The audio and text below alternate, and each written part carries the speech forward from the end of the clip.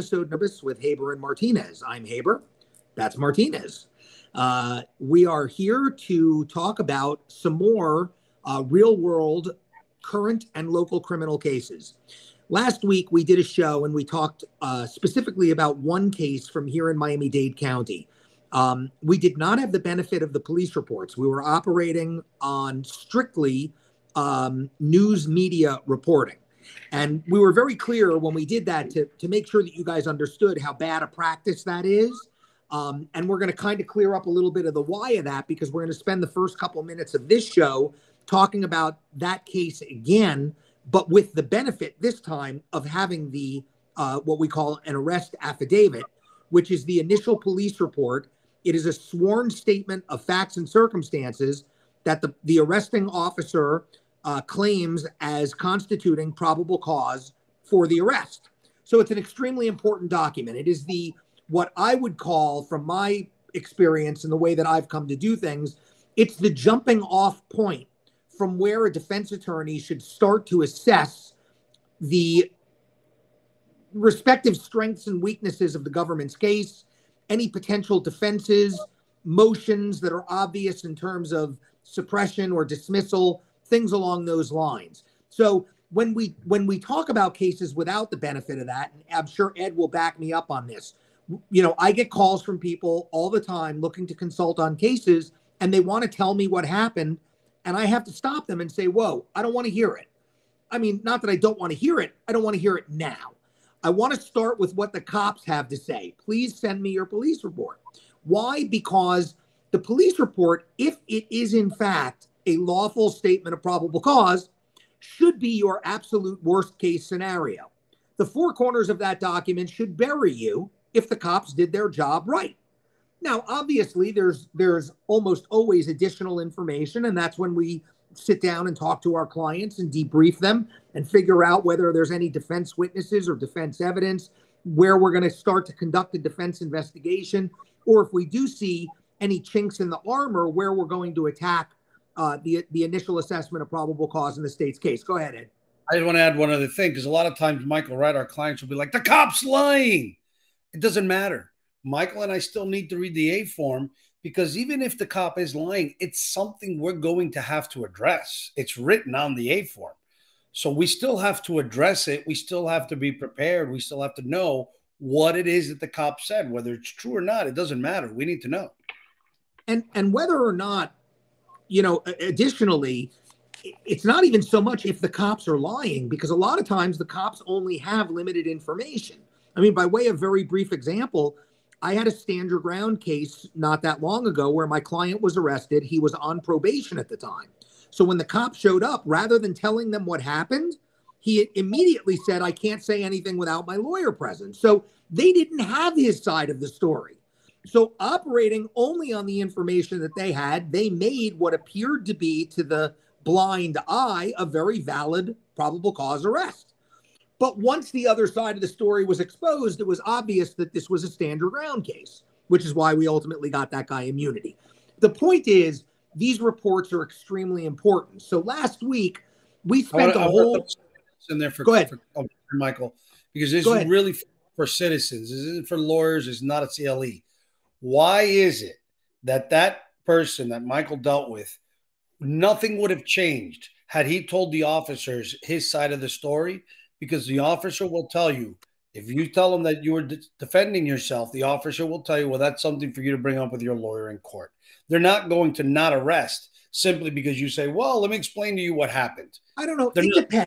I, I, mean, I would say as a general rule, we, you know, look, you know my tagline. Anybody who watches this show knows my tagline.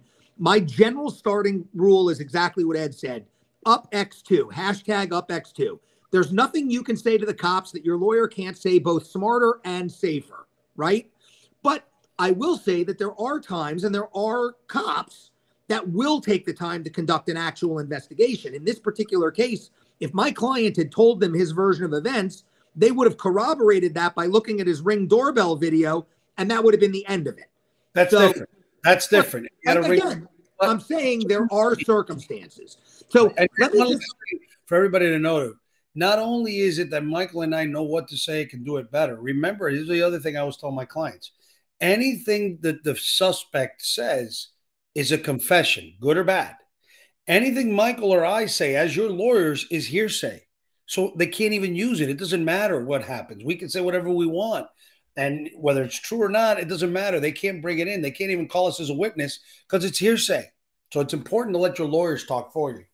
So I, I just want to very quickly, I'm going to reread what we read yesterday, uh, last week. This is what we were operating off of only, nothing else. Police arrested a man Thursday who they said shot a person in southwest Miami Dade. According to the arrest report, the individual is facing one count of second degree attempted murder and aggravated battery with a deadly weapon. Police responded to the shooting call at 3:30 p.m. in West Perrine. Upon arrival, they spoke to a witness who identified the subject as the shooter and said he left the car, left the scene in a brown sedan. Uh, authorities put out a bolo for the individual and the vehicle shortly after the incident report. Uh, other Metro Dade officers located the vehicle traveling northbound on South Dixie Highway. They conducted a traffic stop. They detained the driver. Before they placed him in handcuffs, they spotted a semi automatic handgun on his lap.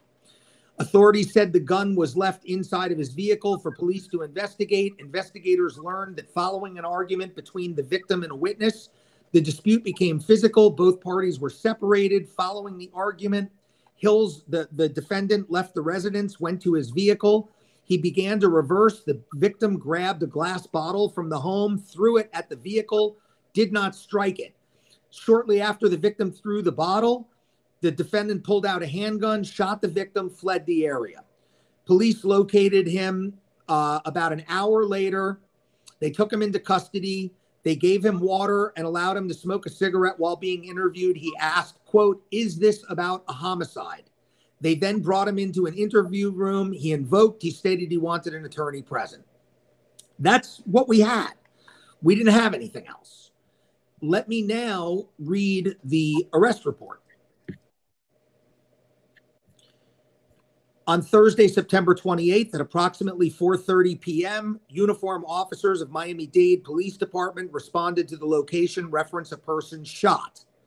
Upon officers' arrival, a witness on scene provided information that was used to issue a bolo advising the shooter by name uh, and that he had left the scene in a specific brown sedan with a specific Florida license plate. So the bolo went out for the car with the license plate with the name. Village of Palmetto Bay officers located the vehicle traveling northbound on South Dixie Highway. They stopped the vehicle, they detained the male driver. The male was identified by name, same individual that the name was given to by the witnesses. While being detained, officers advised that there was a holstered firearm on the defendant's lap. The firearm was described as a semi automatic handgun with a gray colored slide and a black colored frame.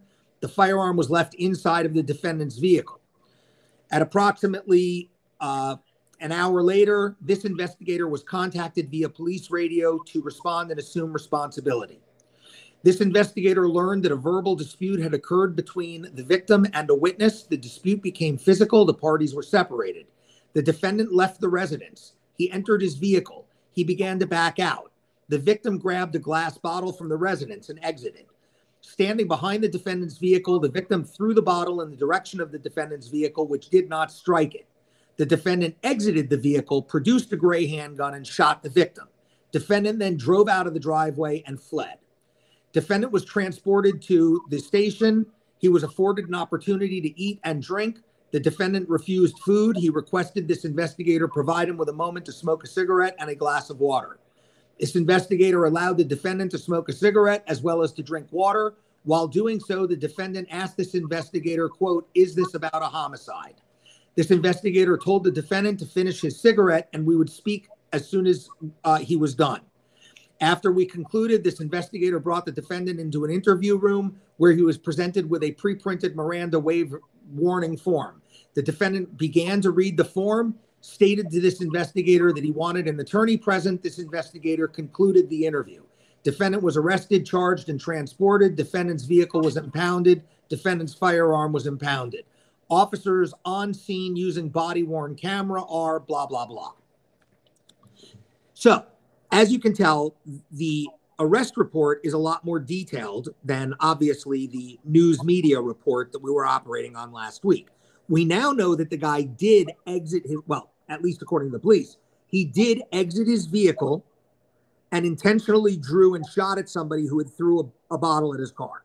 While he, he was in right, he's in the car driving away. The guy throws the bottle, misses. He stops the car, gets out of the car, pulls out a gun, turns around and shoots the guy, gets back in his car and drives off the scene. Does not look good. No. I wanted to, I also want to mention something. So when I first started reading the report, right? I'm reading this as a former prosecutor, even even as a criminal defense lawyer. And I'm saying a witness gave them information. And my first knee jerk reaction is, they better give the name of the witness. Like as a prosecutor, what am I going to do with this? As a defense attorney, you're thinking, you better give me that witness. But, but, but, hold on. You keep reading for all of you to understand.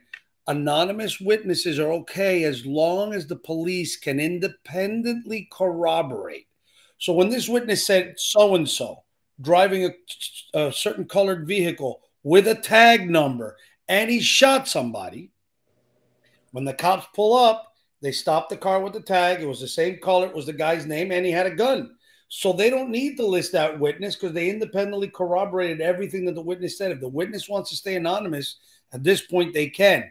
Now, your defense attorney can hire a private investigator to try and find out who that witness is but the cops and the state attorney don't have a duty to turn that person over because the police were able to independently corroborate everything that the witness told them. So, just so you understand how some of these things work. And let me add to that also, as as we have said many times, the arrest report is merely a blanket statement of probable cause. It is not a dispositive statement of everything and every piece of evidence in the case. So if they don't list that witness by name in that report, it doesn't mean that they don't have that person's name and then they're not going to turn it over to the state attorney's office. So they still at this point turn it over, but they don't really have to at this point. They but whether to. they do or don't, the point is that the police report only needs to meet the criterion of stating sufficient facts and circumstances to justify the reasonably prudent police officer who's confronted with those very same facts and circumstances to believe that a crime was committed in their jurisdiction by a specific individual. That's it.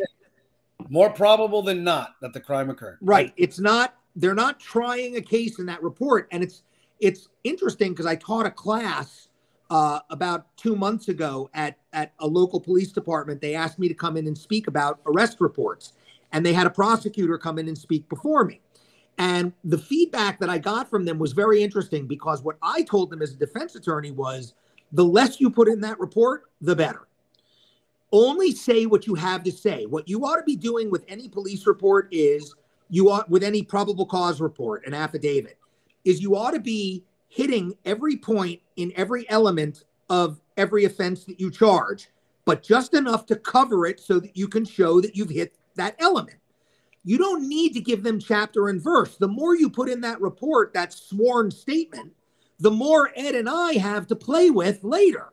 The less you put in that report, the less we have to play with later. Interestingly, the prosecutor who spoke before me told him the exact opposite. He said, put everything in there, the most detail that you possibly can. I don't want to know who it was. I, I don't know who it was. I never asked. I can tell you that as a former prosecutor, Michael's 100% correct. And that's the way I train my cops. The arrest affidavit, look, it's very simple. The arrest form or the arrest affidavit is literally supposed to be a summary of their offense incident report, which is a much more detailed report. This, what Michael read to you, is the arrest affidavit, the arrest form. Later on, they will do an offense incident report where they would put a lot more detail. And there's going to be supplemental reports by other officers that put details as to what they mm-hmm. did. The reason you don't want to put a lot in the A form is a couple. Number one, first and foremost, it's public record.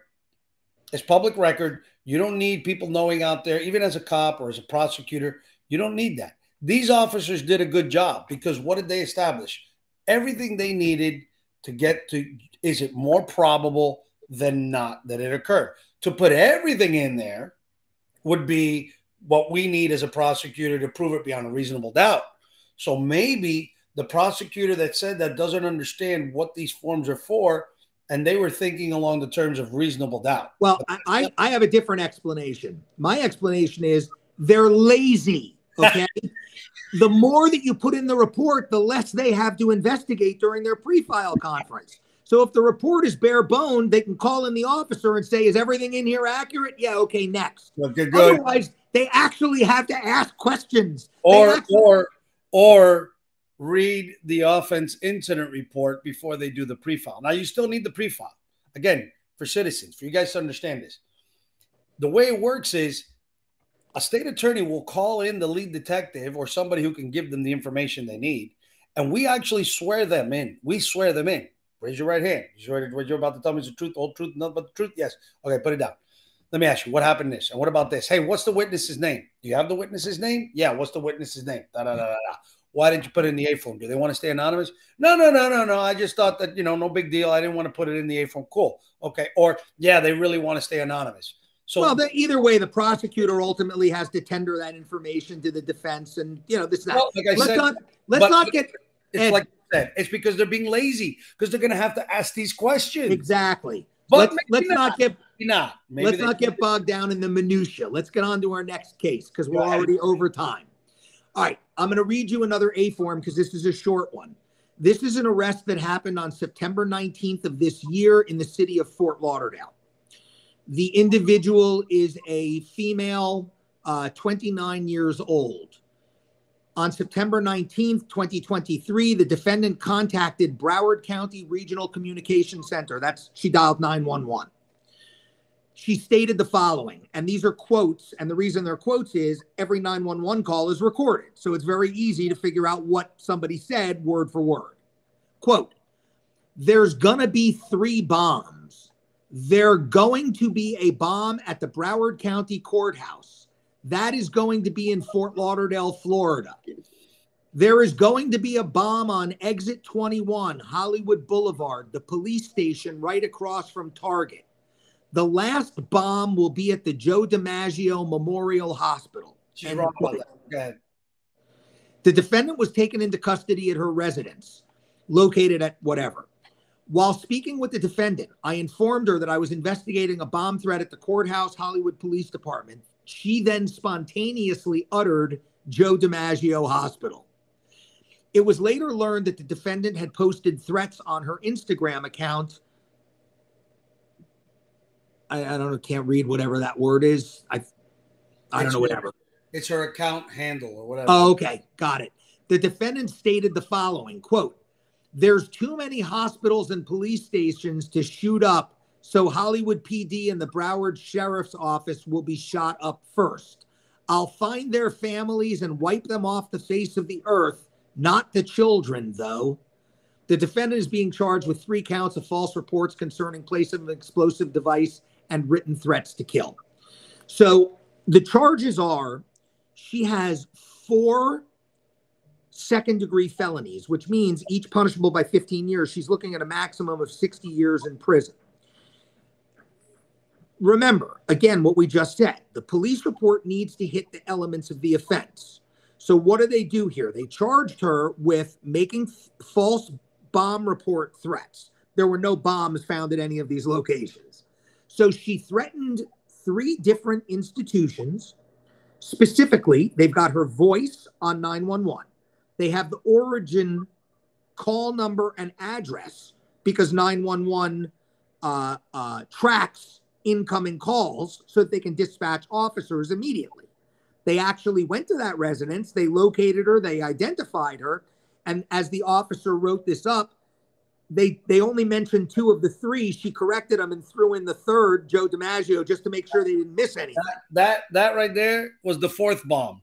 Her stupidity. Yeah, and then when they, I guess they dug through her social media, uh, which is very routine these days for cops and prosecutors to do and they found other threats. And of course, when you when you do something like that on on on a public uh, domain, that that's a criminal act too. So, um, look, the police did their job first and foremost to make sure that this was not a real, uh, uh, uh, pardon the pun, but explosive situation.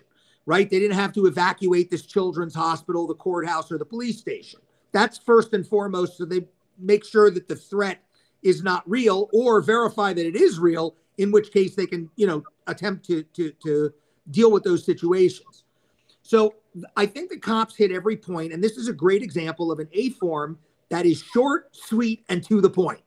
There's no mistaking the elements of the offenses here, and there's no superfluous information. Thoughts? I think both of them were written that way. I think both were very good. I think they were written that way, um, the way you should, just enough to get you past probable cause.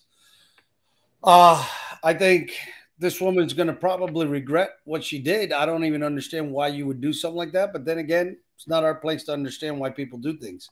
Well, I, I disagree with you to a to on a on a on a side level. When I read this A form, the first thing that, that comes to my mind is mental health. Oh yeah. Well, so but, so but Michael, I do Michael, hold on, hold on, because I was thinking that too, and I was gonna mention this is a case where you might want to look into mental health but I'll be honest with you, Michael. They may not be mental health, not not to the level. If of- I if I were a betting man, I would go all in that this is a mental health defense and a mental health case. And if this woman contacted me, my discussion with her would go along these lines. I need to bring in a forensic expert to conduct a mental status examination and give you a battery of tests. If you're not cool with that, I'm not the right lawyer for your case because that's the first thing I need to know. I need to know whether or not I can levy a mental health defense here because I believe that this is either a truly evil, sick, despicable person who should be thrown in a hole for the rest of her life, or she's mentally ill. And I'm putting my money on mentally ill. Now, I don't know her. She could have a, a laundry list of priors. I have no idea. She could be a psych patient. She could be off her meds. She could uh, uh, you know, anything is possible here, but that's what it screams to me as a defense lawyer. And, and here's the thing I think it definitely has mental health issues. The reason I said hold off on that, I mean, first of all, let me be crystal clear. I agree with you on that. No matter what, I would ask for a mental health evaluation on this person because there's clearly some mental health issues. But that being said, well, when you say I would ask for a mental health, who, who are you asking? I would I would either hire somebody myself or have the court do it. But okay, so see, and here we differ. I wouldn't bring this to the court's attention. Well, I would. I mean, you keep interrupting me. Slow down, brother. I'm just trying to be just trying to be detailed, okay? Because in an investigation, details matter. All right, Reacher. no, what I'm saying is, at some point, somehow, she would have to be evaluated, right? So I would get my own investigator, my own, I mean, doctor. I would bring in my own doctor to evaluate her first for this reason but eventually, if she does qualify for mental health diversion, I would want the court to put their own. But why do I bring in my own? For the reason that I was trying to say at the very beginning. She may not have a qualifying mental disorder. She may have a mental disorder, but it still has to be one that qualifies. So I'm telling you, Michael. Well, qualifies for for you're talking about qualification for mental health diversion court. Correct. Okay, I'm not necessarily going there. You're you're jumping ahead for me. Because for me, I'm not thinking about diversion court yet. First, I'm thinking that it is a mental health issue, and let me lock that down. If I lock that down, then I have to figure out whether or not it's even possible because there's a lot of charges that are not eligible for diversion court. That's also but, true. But mental health is always available if it's legit for a statutory mitigator.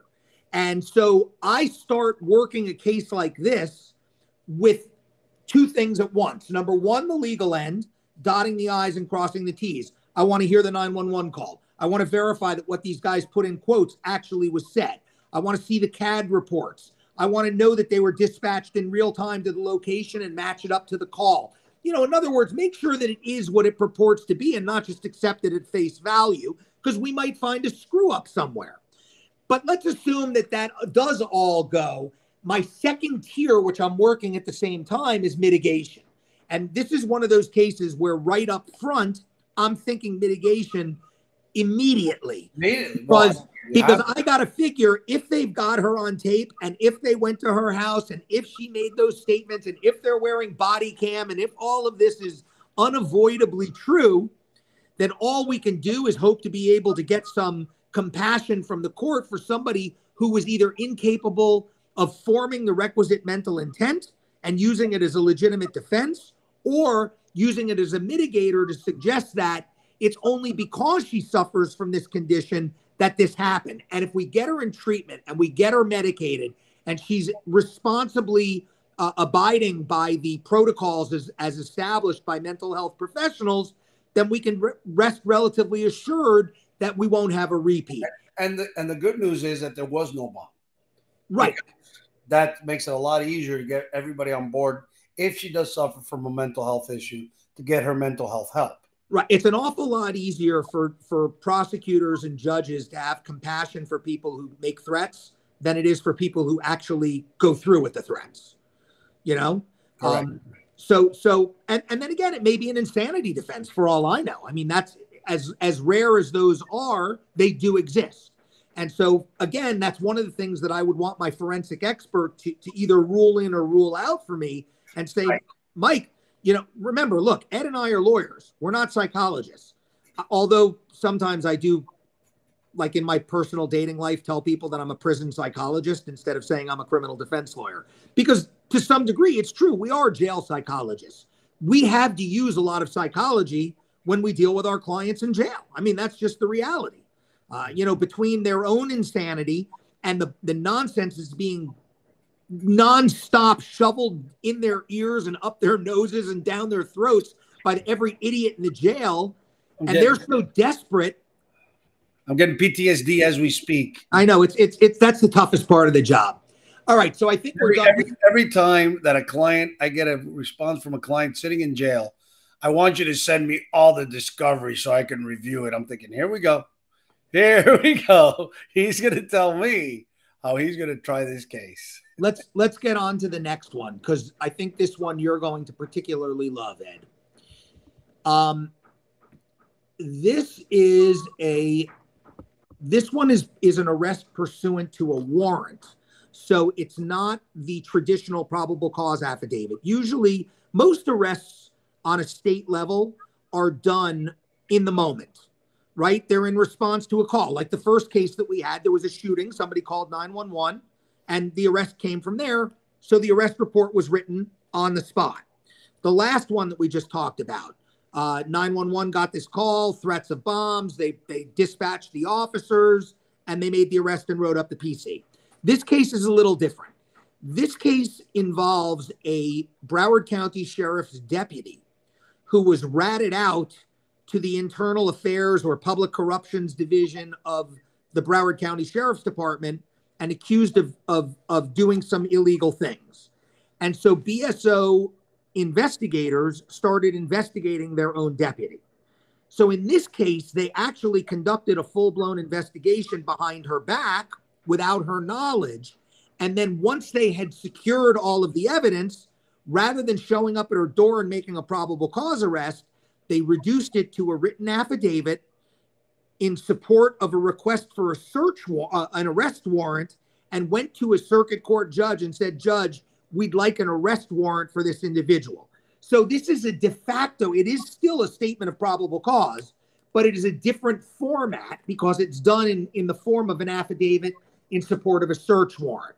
And when so, you do these, just so we're crystal clear, but. When you do these, state attorneys, if they're involved, because sometimes they don't really have to be involved, but I think almost every every county has state attorneys get involved, like we do in Dade County.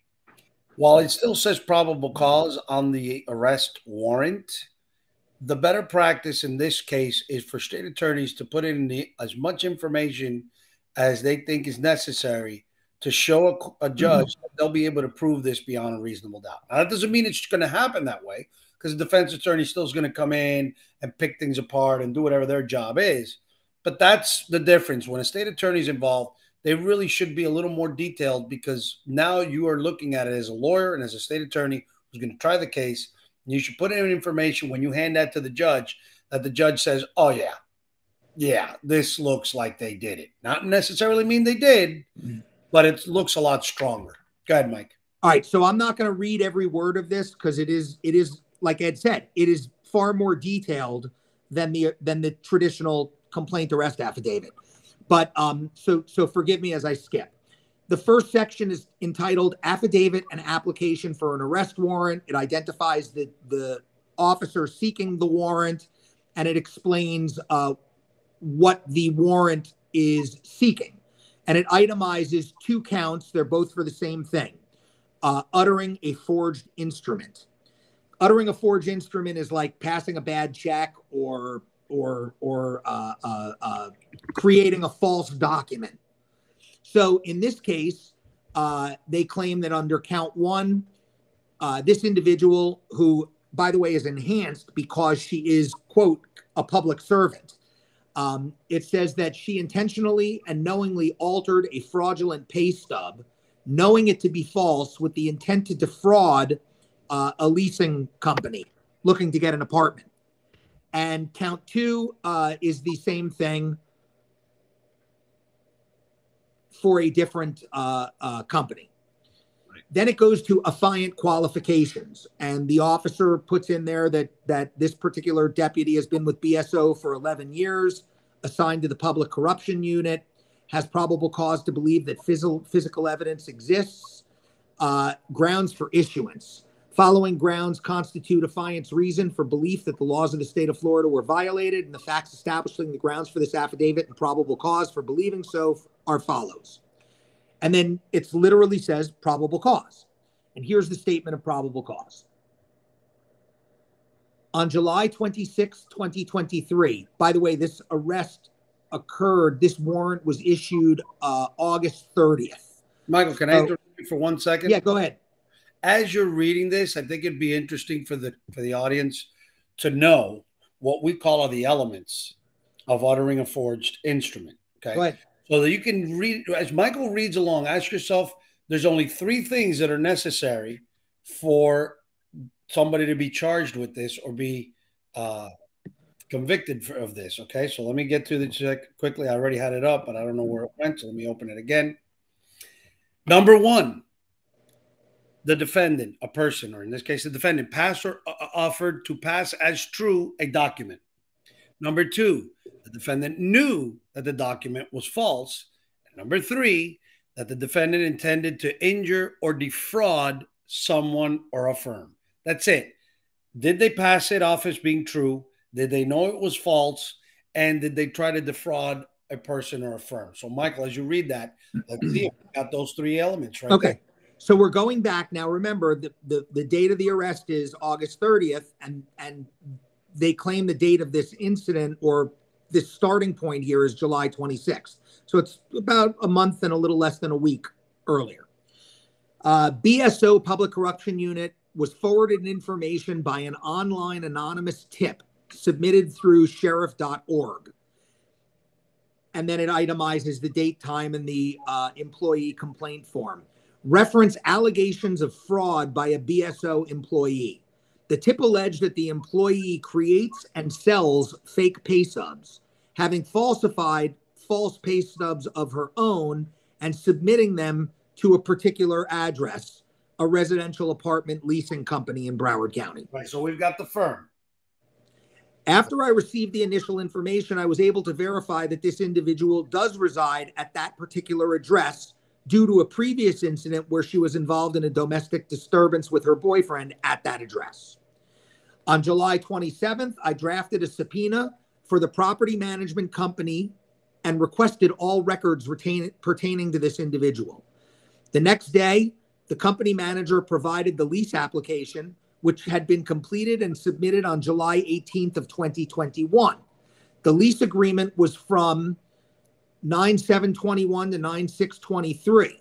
With the application, she listed her employment information as I'm not going to say the name of the company, but some other company, not BSO, with whom she was employed, with a monthly income of $5,500. So let's call that company A so we can keep track of that. Okay. She provided two pay stubs from company A. In addition, she provided a 2020 W 2 earnings summary reporting her yearly salary is $59,524.92 from company A. So we've got the defendant passing off documents as being true. Now, the question is were they true and did she know they were false? Or are they actually false and did she know? Because we've already got the first two elements. She passed off these documents as being legit and it's her. Keep going.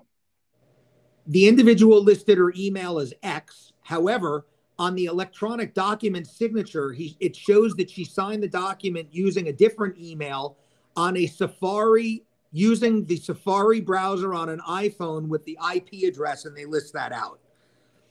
It should be noted that she is a sworn Broward Sheriff's deputy, and she is currently assigned to whatever. I obtained her employment application to Broward Sheriff. It was completed and submitted on X date. Upon reviewing the application, I observed that she did not list Company A on her employment history. On August on August 7th, 2023, I drafted a subpoena for the uh, let's call it now Company B. This is the place where she allegedly worked. Um, it was received, it was reviewed and approved by a specific assistant state attorney.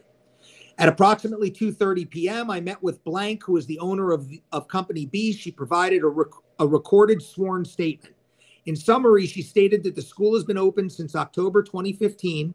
She has no records of a present or former employee named X. I showed her a copy of the pay stub and W 2 form, which had been provided to Company A. She stated it did not appear to be the same that her school issues, her school uses ADP payroll company and the W 2 form was not issued by her company, Company B. On August 8th, I authored search warrants for the deputies' listed emails, which were both reviewed by the ASA and by a judge.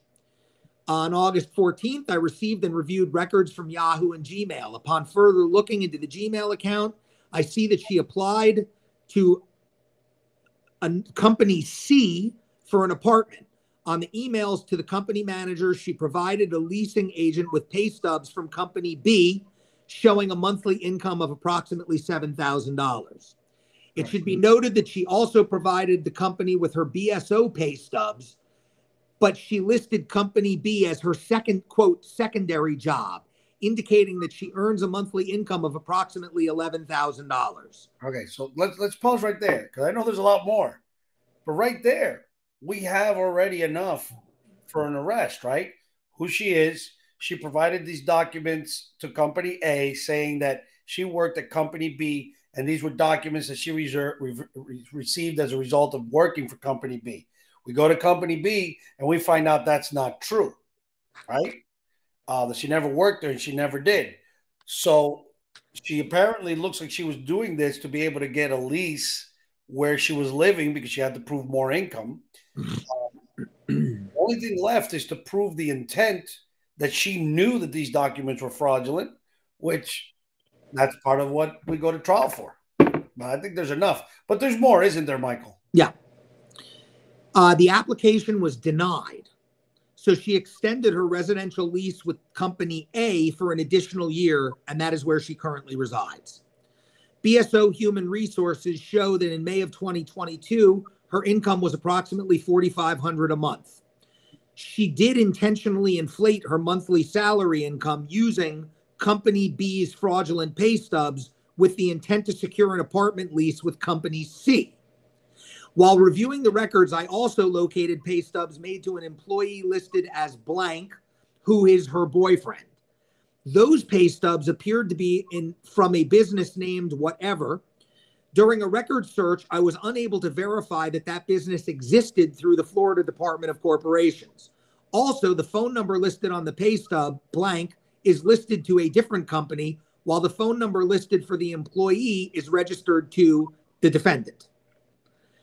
These, this investigation revealed the defendant did intentionally forge fraudulent pay stubs, knowing to be false, with the intent to obtain and secure or attempt to secure a residential leasing apartment. And that is the, the affidavit in support of the warrant, which was ultimately issued, and she was ultimately arrested. So, what you see here is really good police work. I mean, this is an example of very good police work, and a defense attorney is going to have a very hard time with this case.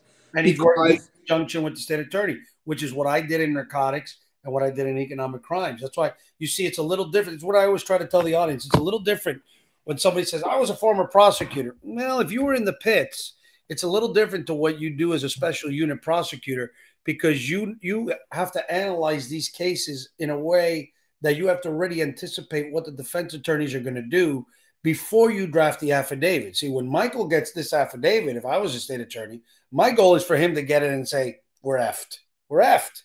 So you have to make sure that you meet all the and this is what I would do. I would pull up the jury instructions for Florida. I'd look at all my elements, and I'd tell the officer, let's go one by one. You know what? We're missing an element here. Let's do a little more investigation. Let's go over here. Let's go over there. Let's do this so we can get all the elements. It's a much more detailed police work, and you're working hand in hand with them to make sure it gets done right. So yeah, I mean, and that's that's a great point, and that's why one of the reasons that this particular individual is going to have a very hard time. Soon to be ex deputy, I'm I'm I mean, certain. Look, the usual one, right? What's the hardest thing for a state attorney to prove in any case? Intent. Intent. Intent is always the hardest thing because typically you have to get into the defendant's head and show a jury what was in the defendant's head. But there are ways to prove it circumstantially, right? And, like and here it's here it's as plain as day, even though it's circumstantial, right? Because there's no question that if she created and submitted these bogus pay stubs, the purpose that she was doing was to get out of the apartment she was in and probably into a nicer apartment. And and, and notice what the state attorney did, or the officer. I don't know who was the one that put decided to put this in the warrant or investigate. But that's why they did two businesses, and that's why they mm-hmm. also put in there that she did the same thing for her boyfriend because that's the circumstantial evidence of intent. You see what I'm saying? It wasn't just for her, wasn't a mistake. She did it for her boyfriend too. This is not a mistake. So, well, and also remember, they're gonna. The other thing is, you can rest assured that while this investigation was going on, this deputy was still working. She had no clue that this was happening. That's number one. Number two, um, you know that when they effectuated the arrest I don't know for sure because again, I don't. I'm not you know intimately uh, uh, connected with the file, but I would assume, based on the the, the quality of, of, of investigative work that was laid out in the uh, in the warrant affidavit, I would assume that they showed up with a search warrant and they also collected her computer and any paperwork that they could find, and they're going to go through that with a fine tooth comb and probably come up with whatever software she used to create these documents if she was dumb enough to do it on her own equipment. Right? So they're, they're not done here. Text messages, like maybe one from the boyfriend, hey baby, can you did you did you did you draft those documents for me yet so I can submit it for the job? Who knows? But they'll be looking, they'll be looking for everything. They will get a warrant for that. They will search for all that. And of course, if they find that corroborating physical evidence, that's like the proverbial stake through the heart. Ready when they mentioned in there that she used a, di- a, different uh, cell phone and she used Safari. They have those records already. They already subpoenaed yeah. them. They know exactly what she's been doing. It's it's solid police work. Very solid police. police work, and and probably for the reason that you said. I mean, not to take anything away from the detective, but they were they were smart enough to work in conjunction with an assistant state attorney who is a lawyer you know and so they're they're they're really a, a well-oiled machine in this case, as opposed to the other ones we read, where the state attorney just gets this. Sometimes it's a dumpster fire dropped on their desk. Sometimes it's all tied up with a with a nice neat bow and a ribbon too. But Correct. the point is, you get what you get. Whereas if you're working with the state attorney, the overwhelming odds are you're going to have an airtight case like that one. Unless, of course, it's a state attorney who's telling officers to put everything in the in the arrest form. All right, let's get through our last police report. I apologize; it's a little bit of a I'm long sorry. one, but I, I promise you, it's extremely uh, uh, uh, upsetting. So let me warn you in advance. On October fifth, twenty three, at approximately seven forty eight, uh, approximately seven forty eight p.m. Broward County Regional Communications received a 911 call from a female who identified herself as blank. This subject called from phone number blank. She advised that she was 12 years old and that a man had taken her in a vehicle and sexually assaulted her. The caller further stated that the vehicle that she was in was involved in a crash and she was able to escape. She described herself as a white female wearing a school uniform, which consisted of a black shirt and a beige skirt. The caller further advised the vehicle she was taken in was a black or gray vehicle. She described the subject that took her as a bald white male and that he took her from a CVS somewhere near the Hard Rock. She provided the address of 2800 Hollywood Boulevard as her current location. Broward County Regional Communications, again 911, also received a call advising of an accident at 28th Avenue and Hollywood Boulevard at approximately the same time. Officers arrived on the scene shortly after the call was dispatched and were immediately greeted by a bald white male who offered his driver's license. Sergeant Blank noted that the subject's hand was shaking. He appeared nervous. As the sergeant was in contact with the male subject, he became aware of the suspect description via police radio, and he realized the male he was speaking to matched the description provided by the victim to dispatch. The sergeant detained the subject for further investigation he was later identified by a North Carolina driver's license. Contact was made with the female caller at a Shell gas station located at 2800 Hollywood Boulevard. She was identified as a 12 year old female who will from herein be referred to as victim.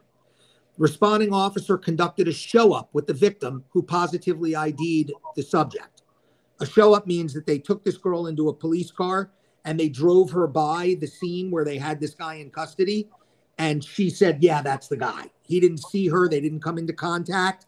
It was that's why they called it a, a show up, drive by. Victim was transported to the Hollywood Police Department where detectives conducted an interview. During the interview, victim stated that she had left her home earlier in the day. She was walking in an unknown direction, making turns as she walked. She advised that she eventually made it to the CVS store that appeared run down. From this CVS, she could see the guitar shaped Hard Rock Hotel but she was unable to say what direction the hotel was in relation to the CVS. While at the CVS, she was approached by a white male with a bald head. She described him as being approximately 48 or 49 years old. She advised that he grabbed her by the arm and forced her into the front passenger seat of his vehicle. She described the vehicle as being a small four door car, gray in color. She described the interior as being, quote, fancy high tech. She further described the car as having Apple Play. The keys had a blue keychain on them. She said it had a blue keychain with a logo. She believes that it occurred at approximately three o'clock in the afternoon, but she's unsure of the exact time. Once inside of the car, the man began driving in an unknown direction. He told the victim he was going to take her to a police station. While driving, she asked he asked her several questions, including what type of music she liked and if she was wearing a wire. After asking if she was wearing a wire, he started to touch and frisk her. She described this action as him putting his hand up the front and back of her shirt and then rubbing his hand on her chest and back underneath her shirt but over her bra. She said that she told the male that she did not consent. She told him that this was a sexual assault. She said the male scoffed at her. They continued driving in circles and in alleyways in unknown locations. She described the male as making several attempts to hold her hand and touch her leg while driving.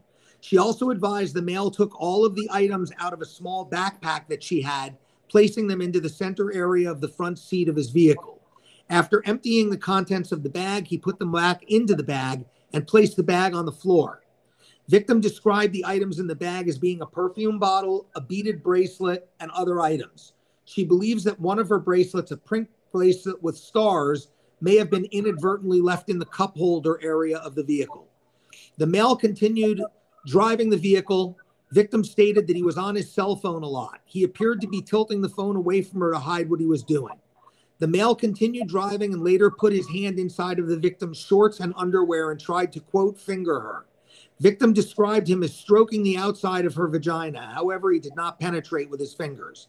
The male also put his hands under victim's shirt, touching her breasts and trying to, quote, twist her nipple. As the male was doing this, the car they were driving in was involved in a car crash. This provided the victim with the opportunity to exit the vehicle, at which time she ran into the Shell gas station and asked the clerk to dial 911.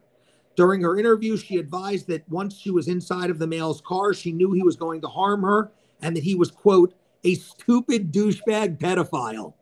She waited for an opportunity to escape. She was provided that opportunity at the moment of the car crash. It should be noted that the victim's description of the vehicle was consistent with that of the vehicle being driven, which is a four door 2023 Hyundai Venue, gray in color, bearing whatever tag. He also had the keys to the vehicle in his possession when he was taken into custody. On the key ring was a Crunch Gym membership keychain, blue and white in color, consistent to the keychain described by victim.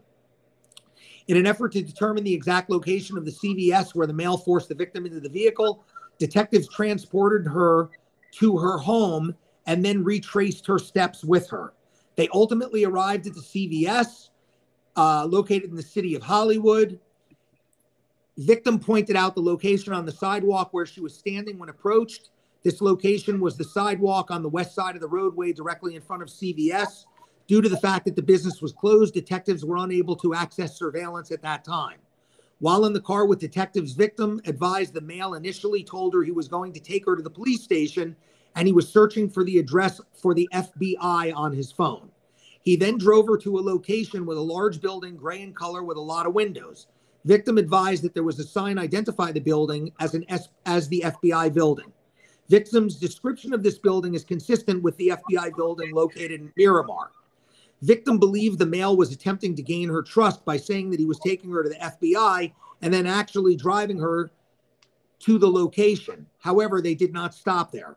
Upon arriving at the building, the male did not stop. He continued driving. After leaving the FBI building, she does not know where he drove, but they went through a lot of neighborhoods. It should be noted the vehicle hit on a license plate reader in Pembroke Road heading northbound. The vehicle hit on a license plate reader at Hiatus Road subsequently, heading northbound, consistent with leaving the FBI building and heading eastbound towards the city of Hollywood. Uh, FBI building was, excuse me, City of Hollywood. Victim was later transported to Sexual Assault Treatment Center where an exa- assault examination was conducted. I attempted to get a statement from the defendant. However, after being read Miranda, he requested an attorney be present before speaking to me. As he was stating that he wanted an attorney, he made several utterances. He stated that he heard what the accusations against him were, but he denied them. He stated, quote, all I was trying to do was help her.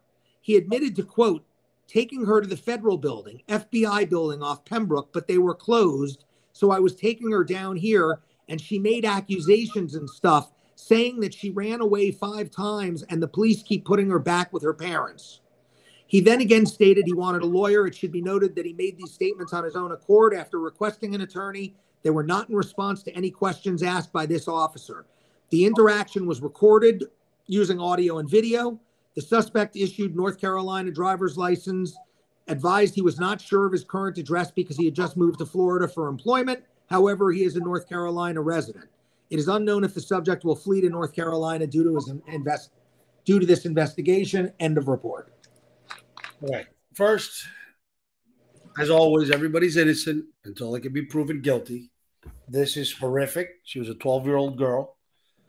I have one glaring question, I, and maybe I missed it. They don't make it clear, Michael, on how or why he initially grabbed her and threw her in the car. Like she doesn't say what his thought process were. Like why would he think what that she was running away? That I, I don't. I, that part is very unclear.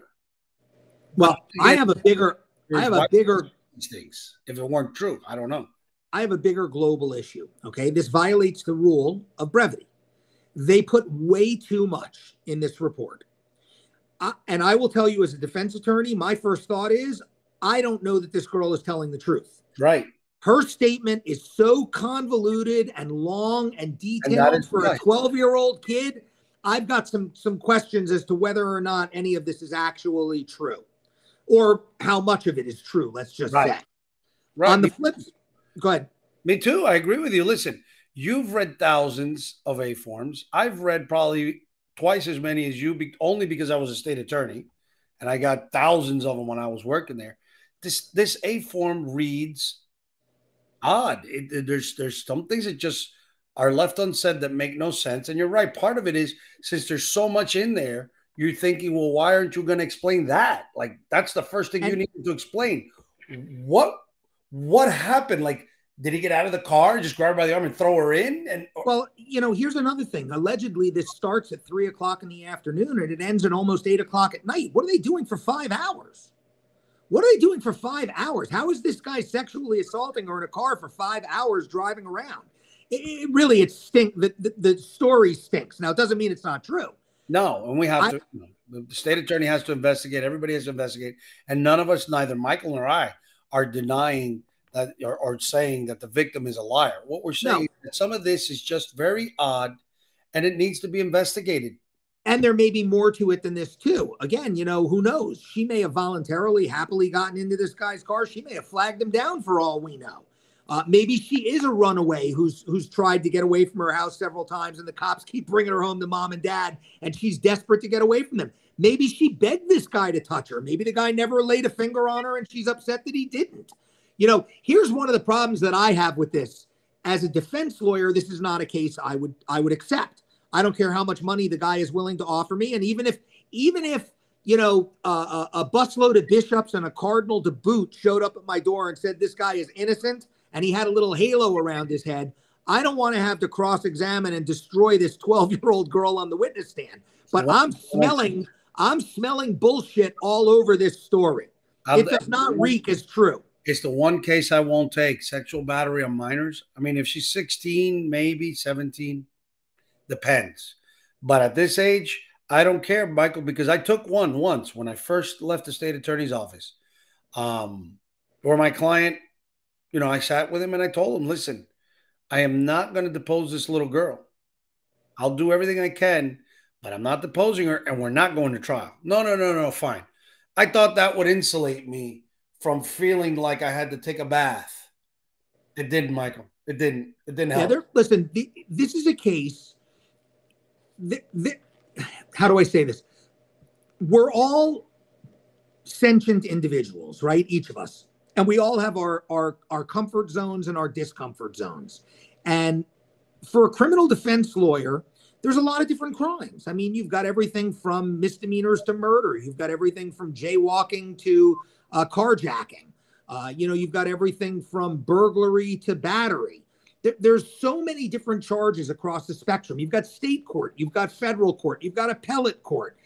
There, there, there's so much to choose from, and there are plenty of lawyers that will take anything that comes in the door. And, and we're not plenty, we're not judging them. Right? No, no, it's just it's just your your business plan. And then there are plenty of lawyers that find the niche area of the law. And, and so they focus on one particular thing. A great example of that is DUI. There are a lot of really excellent DUI lawyers that if I got a DUI, I would be going to talk to, but I would never hire them on any other type of case because that's what they do.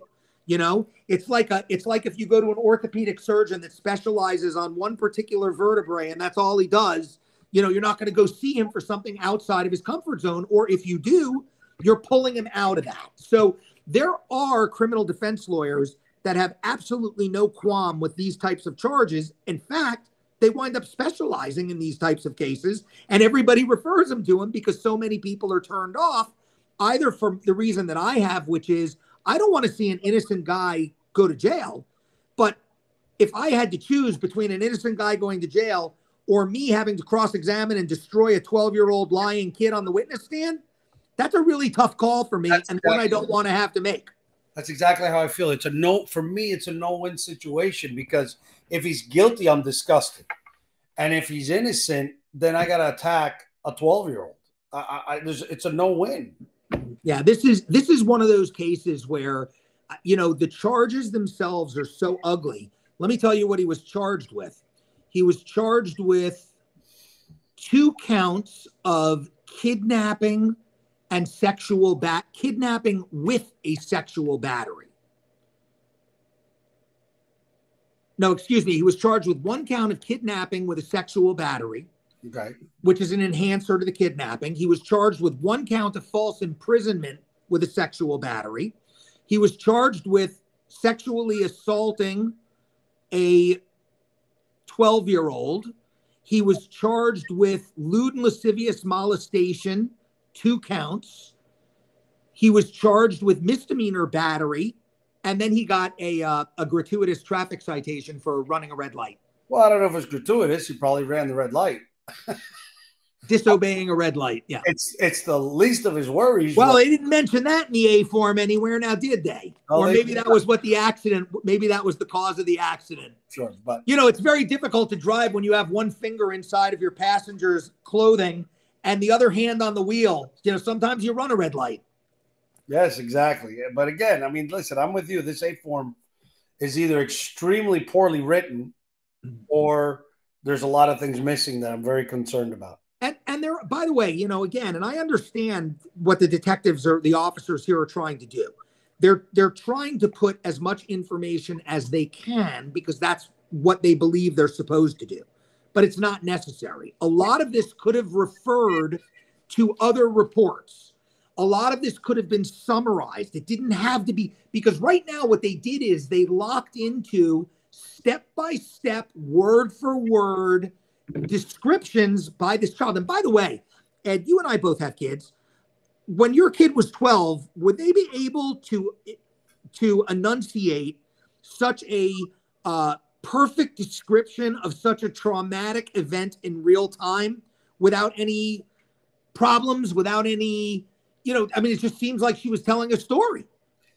Okay. But for the traumatic event, absolutely. My my daughter, when she was 12, would have been able to write a police report. However, I agree with you. Even I know that my daughter would not be this calm and detailed when such a traumatic event occurred. So, and and just so we're crystal clear, because I said earlier, right, you don't want to be too detailed in your A forms. Uh, so when I said they've left things out, the problem here is that because they're so detailed, it begs the question: Why were you why? detailed about these other things? Exactly. And so, had they just simply con- condensed this thing, right? Yeah. Then what they do is fine. The worst case scenario for them is ultimately they hand everything over to the prosecutor. The prosecutor is going to get the audio recorded statements. The prosecutor is going to get the interview room. The prosecutor is going to get the recorded testimony of the child. Prosecutor is going to get the 911 call. The prosecutor will review all this stuff that does not need to be in that police report. Prosecutor reviews it all and says, All right, now I have to make a filing decision. And if I can prove this case, I need to tender all this to the defense. And that's when you want to lay it all out. But doing it the way that these guys did, again, I don't know. I mean, we're just reading a police report. We've never met this guy. We've never met this girl. We, are not intimate with the facts and circumstances. But when we look at it as we're doing now, we're assessing the four corners of the document. We're accepting every word in it as if what is written is true, because that's how the document is supposed to be viewed for purposes of probable cause and bond. And we're saying if it's true, should this guy be held with or without bond? I mean, now look, he's he's looking at, at, at life in prison multiple times on, on these charges. And if he's guilty, he should get every day of it. Uh, but if he's not, and, and either way, whether he is or isn't, no good deed goes unpunished. And that poor kid is going to go through hell and high water because some defense attorney, uh, un- unless a deal is cut very early or they find out that she's a liar, uh, some defense attorney is going to have to shred her politely or not so politely. And as much as it, it pains me to say it, Look at Trevor Bauer. You saw what had happened to Trevor Bauer, the Dodger pitcher, right? Tell the folks. The guy, the girl was they were dating, whatever. Apparently said that he had sexually beaten, abused her, beat her, and he got suspended from baseball. Eventually, got kicked out. This is a guy who won a Cy Young, who was really mm-hmm. doing well, had signed a fifty-one million dollar contract. Um, got in trouble. Then there was a civil lawsuit, and when the discovery started coming out, we find out now that she absolutely lied. She absolutely made the whole thing up, ruined well, man's life. Again, things, you know, things happen, and this is why we have a justice system. And more importantly, this is why if you are ever accused of anything, you need a lawyer who really considers everything. Somebody who opens their eyes to the big picture as well as stays laser focused on the target. Right. It's what we call a global approach, and it's it's what and, a responsible criminal defense attorney should do. And just to make sure that we end this, so we under that's one of my, you know, let's again let's be detailed. Um, it's very possible that this twelve year old lied. It is. It's very possible. However, you guys need to know something. In the state of Florida, if she lied about her age, that's not a defense. If she gave you a fake ID, not a defense. If you met her in a bar drinking alcohol, not a defense. Right. If she jumped his bones in the car, if she got in the car voluntarily, I mean, it may not be kidnapping if they can prove that, but if he laid a finger on her, he's done. In this case, in the state of Florida, for these charges, well, not the kidnapping, but some of the other charges, the sexual battery on a minor, it is what we call strict liability. Doesn't matter what your intent was, doesn't matter whether you knew she was a minor or not. The fact that you did it mm-hmm. makes you guilty. So it's another reason why you need to be careful what you say. And I think I talked about this on the show before. Remember, Michael? I had a client who I did represent because his girlfriend was 15. He met her. He was, I think, 20 something, just outside of the Romeo and Juliet. And now they were dating. Now they were boyfriend and girlfriend. But she had told him she was 19 when she was actually 15. And when the, when daddy found out that she was having sex with this guy, he called the cops. Cops brought her in and said to him, Did you know she was 15? And he said, She's 15. At least that's the way they wrote it on. Right. right. This is the my cousin Vinny one. Right. That's how they just like my cousin Vinny. I shot the clerk. I shot the clerk. He says that he said she's 15 and they wrote it down like a statement. So it's another reason why I'm not trying to like tell pedophiles how to get away with things. What I'm trying to say is you got to be very careful because if a if, if a 16 year old lies to you, you're still responsible. 15 year old somebody. Now in this case, this girl's 12. Now there is the rare exception, right? There's maybe one in a million that you see some 12 year olds out there that look like they're 18 or 19 years of age. But I doubt seriously that this 12 year old looked like she was 19 or 20 years of age. Let me just recap what we what we talked about real fast because we're way over time. But um, our first case, that arrest report, um, he's got problems. All right. I don't, I don't care what anyone says. Somebody throws a bottle at your car. If that bottle goes through the windshield or you, you're in a convertible and it hits you in the head and, you know, whatever, even then, I think you're going to be hard pressed to stop your car, get out of it, turn around and shoot somebody. But the driving away makes it even worse. Um, so, so that guy's got some problems. That was a well written report. The second report that we read, uh, uh, the bomb threats, uh, also a very easy, clean arrest. Uh, I think that individual is going to have some problems, but I see definite signs for a, a mental health, either defense or mitigation, and possibly, uh, as Ed alluded to, uh, diversion through mental health diversion court, potentially. I don't know. But certainly, I think mental health will have something to do with that case. The third one, excellent police work, but that's an, a different type of case because that's one where they actually worked the case and did a complete investigation and and made an arrest pursuant to a warrant with the assistance of an assistant state attorney. And then finally, this last one is a great example of the exact opposite. Uh, I'm not saying it's bad police work. I'm just saying that it probably was not the best police. It definitely was not the best police report we ever read. No. Um, and it gives a lot of fodder to a defense attorney uh, to, to think about grounds to attack, assuming that you can find one who's willing to attack the victim in that case. With that said, uh, I apologize that we went over today. I hope that it was interesting for you guys. I hope you enjoyed the uh, the content. Ed, thank you very much. As always, your your insight and your uh, your experience as a prosecutor is is extremely helpful. Former prosecutor is extremely helpful, and uh, this was episode 77. Well, hopefully, we'll see you next week on the 23rd for episode number 78 of At Your Service. Uh, when we get done here, our producers will upload the show to social media. And as soon as it gets uploaded to YouTube, I'll provide a link to everybody and make sure you have access to it. Uh, Ed and the folks at Miami Communities Newspapers, thank you very much. And to our audience, thank you very much. We appreciate the, the privilege of being able to be at your service. And we hope that we gave you some good information and some pro tips. And, uh, and hopefully you'll never need us. But if you do, you know how to find us. Take care, y'all. See